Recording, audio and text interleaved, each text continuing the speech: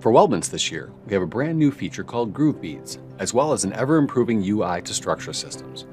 Connection elements just got a lot more powerful too. Let's continue working on the raised platform for this guy and see what's new in SOLIDWORKS 2025. Accessing the structure system is easier than ever. If you don't work on structure systems all the time, so you don't keep your Command Manager tab on, SOLIDWORKS 2025 will offer the help whenever you open a part with an existing structure system. Thanks, SOLIDWORKS.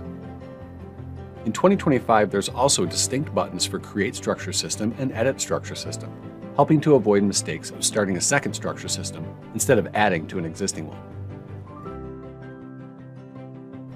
Finally, when choosing Create Structure System for the first time in a file, you'll automatically be launched into the primary member command, whereas on subsequent systems or edits, this won't happen.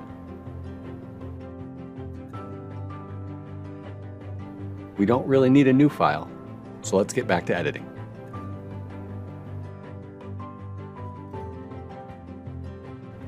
The new Add to Favorites button for my most used profiles will more than halve my button clicks in all future members where I want to use that cross-section. From now on, I can stay on the Member tab and choose from a short list of the current or favorite profiles. The Corner Management Property Manager for Complex Corners has been reorganized with a workflow that resembles the more traditional weldment environment. Convenient callouts in the graphics area contain functional buttons with the details of the selected members, such as trim type, gap, and trim order. Next up, we'll add some connection elements, which we can now trim attached members. This eliminates a lot of time when adding gaps and linking dimensions to the corner trims.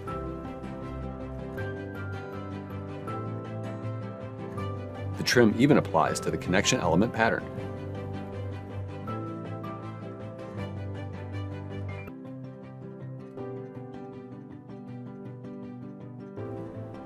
Speaking of patterns, another bonus that was added mid-year in SOLIDWORKS 2024 FD01 was the ability to mirror a pattern structure system and pattern a mirrored structure system.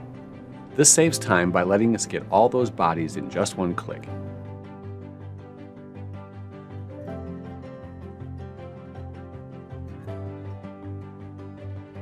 This saves time by letting us get all those bodies in just one click, and will up our time savings exponentially if any bodies get added to the structure later, such as welds we need to add now.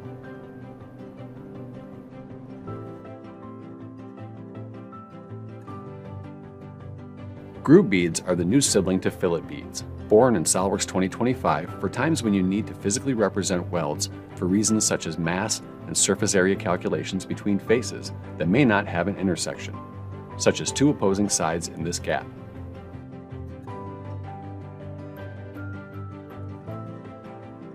Welding one corner is not sufficient, and since these are solid bodies, mirroring is fast and easy. Nothing new here, as our favorite Q key shortcut shows reference geometry for easy selection. And we mirror these bodies in two different directions simultaneously. Piece of cake.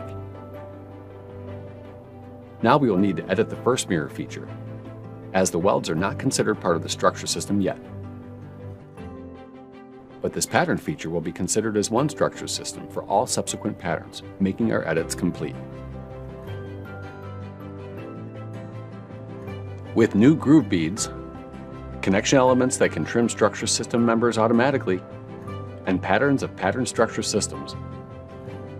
Keep an ever watchful eye on the ease of use with SOLIDWORKS 2025 as our jobs become faster and easier with weldments and structure systems.